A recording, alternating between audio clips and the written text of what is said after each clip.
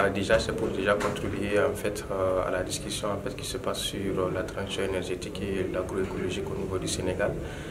nous, en tant que jeunes volontaires pour l'environnement, nous sommes venus apporter en fait notre contribution, n'est-ce pas, à ces débats pour pouvoir définir un cadre, une feuille de route, n'est-ce pas, pour pouvoir, voilà. en tout cas fonder les bases de la transition énergétique et écologique au niveau du Sénégal.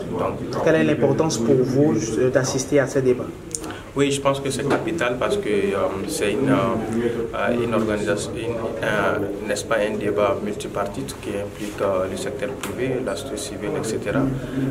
donc je pense que c'est important parce que ça nous permet vraiment de déjà de connaître un peu toutes les politiques en fait qui, sont mises en place au niveau du Sénégal dans, les quatre thématiques là et, aussi apporter en fait notre, notre, notre contribution à ça.